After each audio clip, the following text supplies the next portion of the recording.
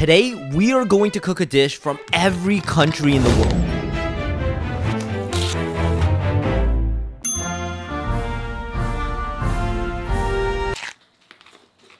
Mm. We've recently surpassed 1 million subscribers on YouTube, and that's a pretty crazy number. Seriously, 1 million of you guys around the world who tune in every week to watch Sheldon fail at cooking. Yo, why are you so bad at cooking? Me? Yeah. It's just crazy to think that there are people from all around the world from vastly different cultures and backgrounds who come together and connect through the content that we make. So, to celebrate all of you guys and our different cultures and backgrounds, we are going to cook a dish from every country that you're subscribed from. And according to YouTube analytics, that's a total of 95 different countries and regions. So let's get started. Cut the potatoes. Keep the oil to 365 degrees Celsius. While the oil heats up, make the gravy. Ooh, how do you make gravy? Dump fries in the hot oil until they're crispy brown for around 8 to 10 minutes. Yo, yo, yo, yo, yo! Place the fries on the plate, followed by cheese curds and the gravy. Mm-hmm. Not bad. Canada could do better. Next we got Jamaican Jerk jerk chicken. chicken. Preheat the oven to 425 degree Fahrenheit. Dry the chicken legs with a paper towel. Poke holes into the chicken legs with forks. Now for mixing. In a large bowl, combine all the remaining ingredients. That much? You can't It's more, it's more, it's more. Same with a lot. Mix it all up, and then evenly distribute that under the surface of the chicken skin. Place all the chicken on a large baking sheet and put it in the oven for 40 minutes. And while that's baking in there, we're gonna move on to the next country. The Bahamas, and the national dish is conch salad. what the hell is? There's, a, there's a serious disease that conch has Yeah, when yeah. you eat it raw. It's something like Vibrium vulcanicis or something like that. You start getting blisters and then your meat starts eating itself. Chop conch into one quarter inch pieces, dice all the vegetables and put them in the same bowl. Season with salt and pepper. Mix the salad and serve. Oh, there's no video of this guy. As long as we don't die. We still have a few more. Okay, this smells very cinnamony. Three, Alright, two, three, one, two, cheers. I got the smallest one. Why does this taste so sweet? Yeah. bar. Yeah. Next country is Puerto Rico. The national dish of Puerto Rico is called mo mofongo. Mofongo. Bongo. It's something called a plantain ball. I have never enjoyed plantains. Peel plantains and cut them into one inch slices. Fry plantains until golden brown for four to six minutes, and then put the plantains into a large mixing bowl along with garlic paste, add some pork rinds and mash thoroughly. Finally, shape the mofongo into four balls and then serve them on a plate. You, you read the instructions? I still have no idea what, what um, fungal. Once we try it, if you think it's good, we say rico. Okay. If it's not good, we say we don't say it. I mean, you want to make a make a Mike's hands? Okay.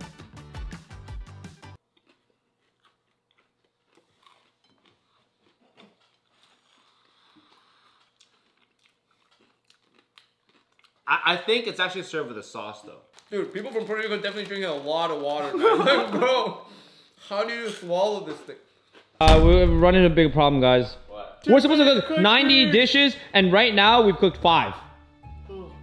We've cooked five dishes, man. A whole day. This is like a. Just take 20 days. 20 days! And that's 20 days we don't have because Sheldon is actually leaving off to China at the end of this week with his mom. So realistically, we only have around five days to complete every country. So here's the plan. First, we'll need to divide and conquer. There is just no way we'll finish all the dishes if we're cooking together. With that being said, we need to cook about 30 dishes each every day for the next four days. And according to the math and our cooking skills, this will take about eight to 10 hours per day. Two, we need a bigger space because our kitchen at home can only accommodate for maybe one to two chefs. So we rented out a commercial studio kitchen space so all three of us can cook at the exact same time. Why you gotta man? Bro, I'm cutting, I'm peeling it, dude. Three, we need a bigger team because right now we only have me, Sheldon, Edward, and Ronnie, and that is not enough hands to make this possible. So we brought on two additional videographers along with two assistants to make sure that there is no time wasted between dishes. And finally, the last thing we need are groceries, and a shit ton of them. A lot of groceries. It's a thousand dollars. This is what a thousand dollars of groceries are for. Jesus. You know what I mean? I'm not even done, yo. Look at that. Okay, all right, Sheldon, are you ready to cook today? Let's do it. I got uh, gonna make some uh, Good food. You trying to start a fight with my girlfriend? What? You gave me my ex-girlfriend's country. what is it? Oh shit, I Give me Switzerland. You guys are gonna roast me for it? I have never had a good taco before. And I've been to like LA, Mexico, and Taco Bell. First, you're gonna cut and prepare the veggies.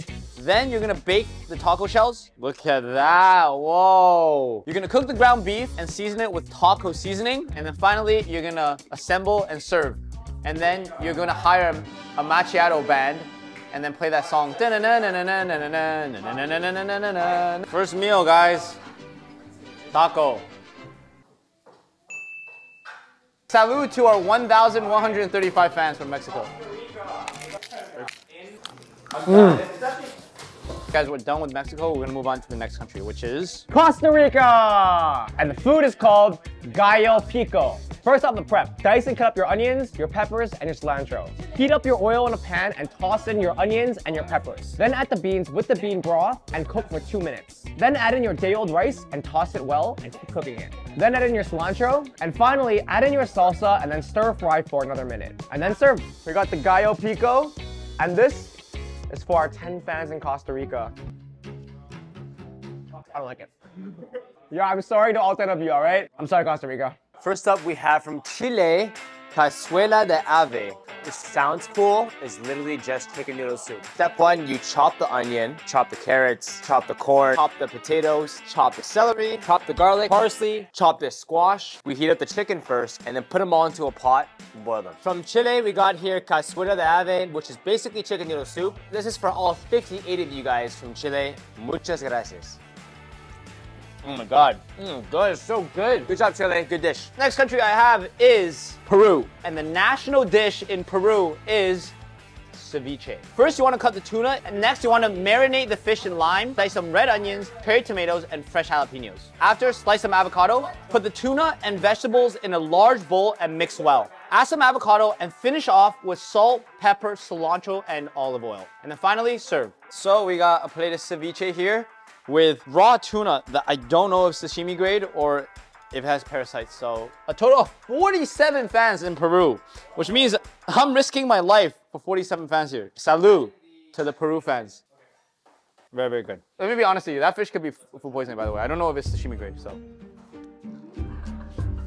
Just eat it, bro. Whatever, man. Yo, we only live once anyways, but come on. Anyways, yo, get back to your station. Brazil, aula. This is the cocina from Brazil. Let's give it a try. I I like the shape of it. For Argentina, the national dish we got is bueno con wasa. Colombia, Panama, Dominican Republic, it's time to eat esta empanada de carne. No, bro, it's not bad. It's not bad. Like the flavor is there. But what will make this dish taste 10 times better is my mom's chili. And my mom's chili is back in stock and on sale. Ever since we sold out, we've been working super hard to make enough chili oil for everybody. There were a lot of you on the wait list, but we grinded hard to make just enough bottles for everybody and a bit more for those of you who haven't waitlisted in time for our first ever 25% off Black Friday sale. But we're selling out fast. So grab a bottle at mymomschili.com, link in description. Enjoy my mom's chili and happy Black Friday. All right, guys, we finished South America and we moved on to Europe. I have to make a paella now. National dish of Spain. Next, we got Ireland. We're making shepherd's pie. Chop onion into dices and cut tomato into one inch chunks. Peel and dice your potatoes into cubes. Then bring a pot of salted water to a boil and add in the potatoes and cook until tender. I'm slicing the squid into rings. I heat the seafood stock, white wine with a bit of saffron in a pot. Add olive oil into a large saucepan. Saute the diced onion and add the garlic. While it's boiling, chop your onions and chop your carrots. Why you gotta hold it there, man? Bro, I'm cutting, I'm peeling it, dude. Next, add the diced tomatoes, paprika, and a bit of salt. Stir and cook the sofrito until it's a jam-like texture. Ready to mash the carrots and then set aside. Heat oil in a large frying pan. Add in your onions, ground beef, ketchup, beef broth. Spread the ground beef in an even layer on the bottom of a two-quart casserole dish. Add rice on top, add broth and mixture to the pot. Add the shrimp and squid on top and cook for another 10 minutes. Then spread a layer of mashed carrots, top with mashed potato mixture, and sprinkle with the remaining shredded cheese. Bake in the preheated oven for 20 minutes or until golden brown, and then serve. This is seafood paella from Spain. And it is for all 388 of you guys who are subscribed to us. We got 1,640 Irish fans. Let's uh eat some pie for you guys. Cheers. Bro, that's so good. Bro, that is so good, man. That is a shepherd's pie. That is Irish Go Lucky approved. United Kingdom, which I'll be doing the remainder of the UK in a British accent. You guessed it, it's not a cup of tea, it's chips. Let's get started. For the prep, you want to peel and cut the potato into strips. I thought you don't have to peel if you're making fries. Why do you have to peel it? Keep it all natural. Keep the skin on. Skin on. Team skin on. Anyone here circumcised though? After that, you want to put the sliced potatoes in a medium bowl with cold water. Mix flour, salt, pepper, and baking powder into a separate bowl. Add some milk, add an egg, and stir until the batter is smooth. Meanwhile, you want to heat up a large pot of oil to about 350 degrees Fahrenheit. Drain and pat dry the potatoes and deep fry them for about 5 minutes until they're golden and crispy. Dredge the cod in batter, fry the fish in batches until golden brown on all sides, drain on paper towel. Next, you want to do one final fry of the potatoes for 1 to 2 minutes until it's ready to eat. Fish and chips.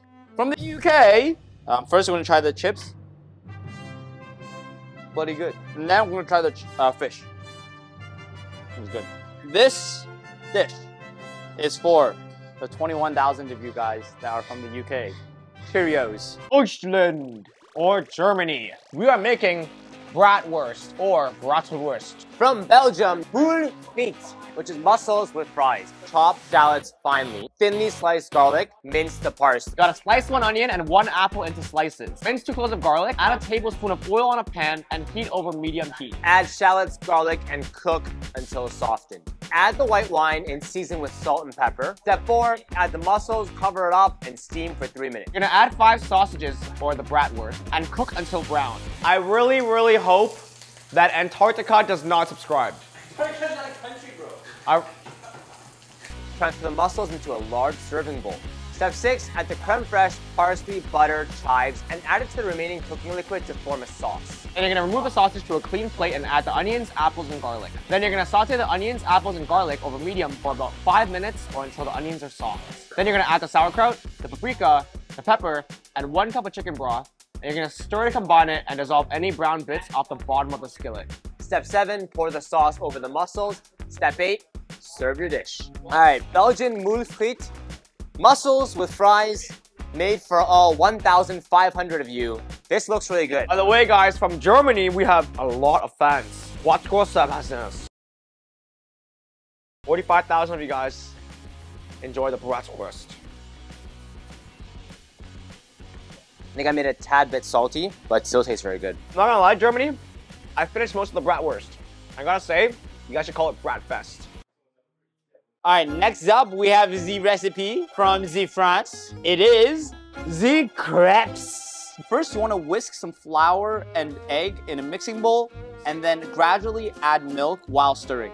Add salt and melted butter and beat it until it's smooth. I always beat it until it's smooth. Pour the batter onto the pan using about 1 4th cup batter. Tilt the pan until the batter coats the whole pan in an even surface. Cook until the bottom of the crepe is lightly brown and then the top is not wet anymore. Then you can flip over and cook on the other side as well. And you want to top off with some strawberries and whipping cream. Bon appetit. In France, we have about 3,200 subscribers, so this is for you guys. Wow, wow. That was really good. Poland. And the dish is pierogies. Combine flour, cold water, beaten egg, and salt, and then we're gonna mix it until a smooth dough forms. Put the potatoes in a large pot and bring it to a boil and cook until they're tender. Mash potatoes until they're smooth. Place bacon in a large skillet and cook over medium-high heat. Drain the bacon slices. We're gonna crumble and stir it into the mashed potatoes. Stir in cheese and season with salt and pepper. We're gonna roll the dough out on a floured surface, cut out three-inch circles with a cookie cutter, and fold it together like a dumpling. Then we're just gonna throw the pierogies in boiling water and then cook. Actually, tastes like a pierogi. It's actually not bad. Like genuinely not bad. Austria, the Wiener Schnitzel. Beat the meat. Heat a quarter inch of oil to 350 degrees Fahrenheit. Dip the pork chops into flour, then into egg, and then into the breadcrumbs. Pan fry it for about five minutes each side. Voila! Wiener Schnitzel. We're supposed to have it with lemon slice it. The Netherlands. Stamppot. Sausage and potatoes. Cut the potatoes into cubes, and then you want to cut the kale. Finely chop two cloves of garlic. Add the potatoes into the boiling water along with some bay leaves. Cook for about 20 minutes. Meanwhile, you want to heat two tablespoons of butter on a skillet over medium heat. Add some chopped shallots. Add the kale. Drain off the water from the potatoes and remove the bay leaves. Mash the potatoes along with butter, milk, salt, and pepper, and add the kale into it and stir. Put the sausage on top of the mashed potatoes and serve it. Potatoes. Mmm, real good. Mmm. Dude, this is gonna knock me out if I like finish the whole thing. For the things that we haven't finished, we're actually giving it to our PAs over here. You wanna point the cameras? They don't feed us. I'm just joking. They're very kind. Pretty good. Eh, no thanks. it's pretty good. And as we were approaching the end of the day, I realized that we were we were far behind. And that's a wrap for today. Our target was 10 dishes each. I did about like seven. I didn't make 10 dishes. And then how many were you at? 10. You actually made 10. Yes!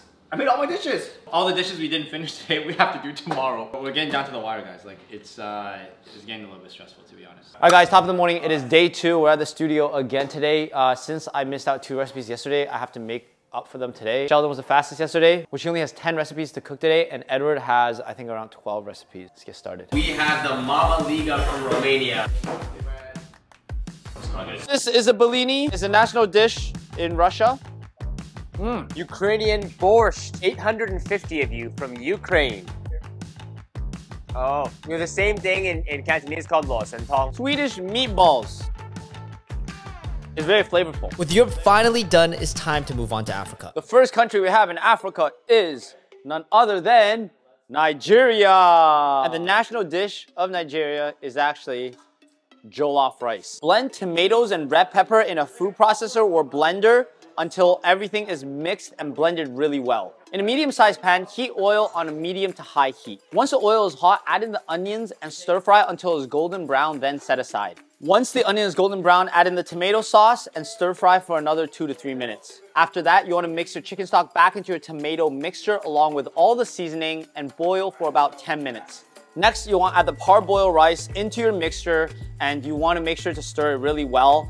And also keep an eye on the water level because you might need to add more water to make sure the rice is being cooked properly. Finally, add some bay leaves, turn down the heat to a low medium heat and let it cook for another 20 to 30 minutes. After about 20 to 30 minutes, the rice should absorb all the tomato and the flavors. Then at that point, you wanna add a little more tomato sauce in it, cook it for five to 10 minutes, and then the jollof rice should be ready to serve. All right, guys, we have Nigerian's national dish, which is the jollof rice here. And to the 123 of you guys from Nigeria, Inagwana, which means, apparently means, hi, how are you, in Hausa. Not only were we pleasantly surprised by the taste of the dishes, Mmm, really good. it really opened our eyes to just how diverse food can be depending on your cultural background. Here we got Morocco, the uh, couscous. Mmm, this is good, that's good. I love the raisins.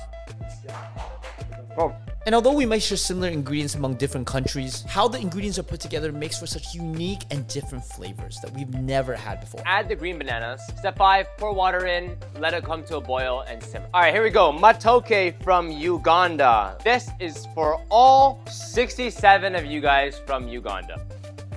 Honestly, the sauce is actually pretty good. I would mix this with rice, and I think it'd be better than with banana. And although we have our own preferences for different foods, it never hurts to try out something new. The What we have here is a koshari, right here. You see this?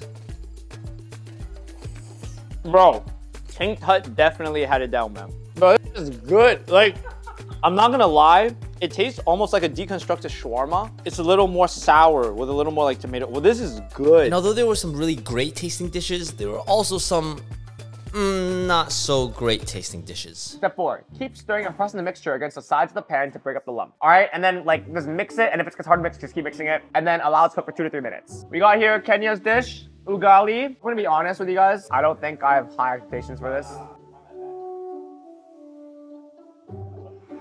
Ah, I wanted to like it. But also dishes from places that I would have never expected to taste so good. This is uh, the maskouf from Iraq and is the national dish there. To all the fans from Iraq, salam walaikum. I will put this, if on the same level and above, Cantonese steamed fish. Packing in flavor. Holy sh! Might be the top dish I made so far. United Arab Emirates, UAE. Saudi Arabia, we're making kabsa, which is Saudi chicken and rice. Chicken shawarma is the official dish. Diced an onion and minced six cloves of garlic. Place the chicken pieces in a bowl and using your hands, rub the chicken with vegetable oil until it's well covered. Place on a tray and bake it for 30 minutes. Mince a clove of garlic. Find all the marinated ingredients into a bag. Put these skinless chicken thighs in there and marinate them for three hours. Mix all the spices and salt in a small bowl. Rinse the rice in a sieve with running water until the water runs clear. Meanwhile, melt the butter in a pan and saute some onions and garlic until they're translucent and soft. Then add the diced tomatoes and tomato paste to create the sauce. Then add the chicken and stir until it's well coated with tomato sauce. Then add the rice and spices and mix it really well. Once it's boiling, reduce the heat to a simmer. Cover it loosely and leave a gap for the steam to escape. Cook it for around 20 minutes until you have cooked the rice.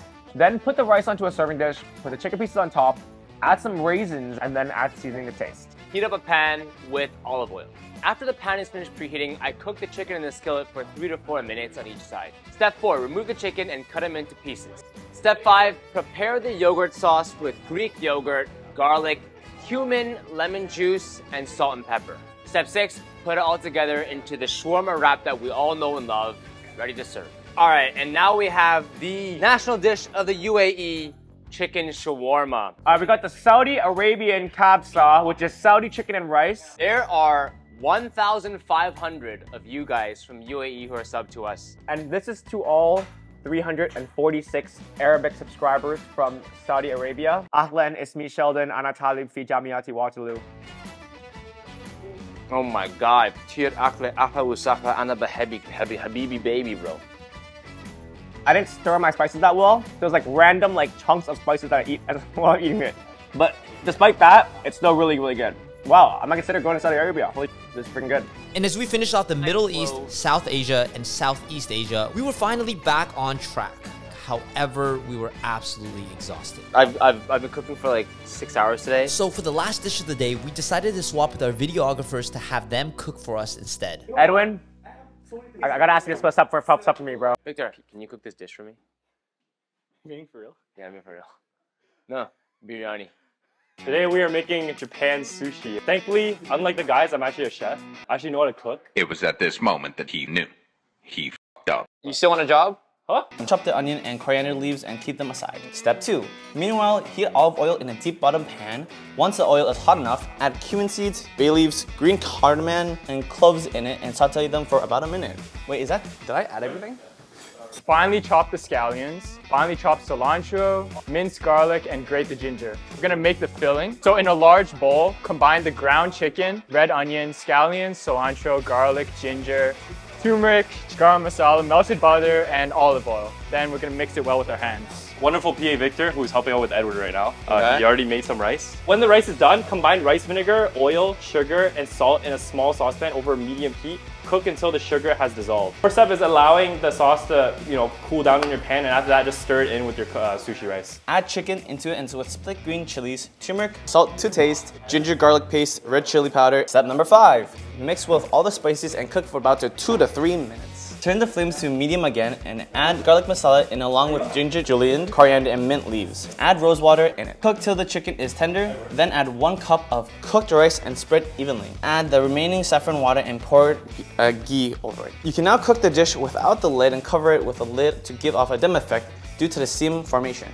Step number 10, cook for 10 to 15 minutes with a closed lid. Next, we're gonna place a tablespoon of filling in the dumpling wrapper, and using your finger, we're just gonna wrap it up, basically make it like a dumpling. Next, we're gonna bring a large pot of water to a boil and just basically throw all the dumplings in and cook it up. Yeah, lastly, we just serve the momos, and yeah, we can enjoy. And final rule is assemble the nigiri sushi, which we're doing today. This is a national dish of Japan. Arigato gozaimashita. This is Nepal's national dish, momos, and this is for all 1,200 of you guys. From India, we have 50,000 people in. Cheers. Cheers, bro. Arigato. Cheers. Cheers. Mmm. Mmm. Actually know how to cook. It's good, right? Mm. Alright guys, we are finished cooking today. The good news is we're back on track. We did 10 10 10 today and I was able to catch up. And uh, as long as we get another 10, 10, 10 dishes tomorrow, we should be good and then hit all the countries. So, okay, good job, guys. One more day, one more day. One more day. One more day for the gang. One more day. All right, peace.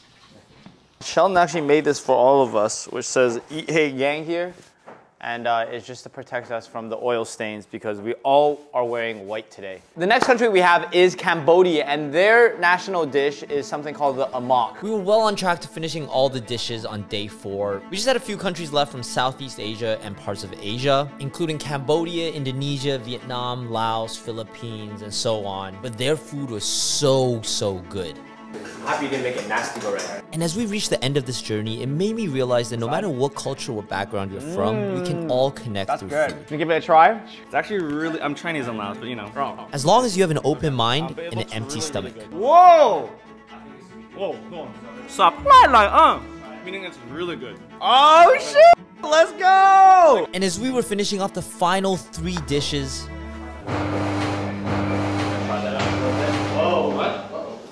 we just lost power.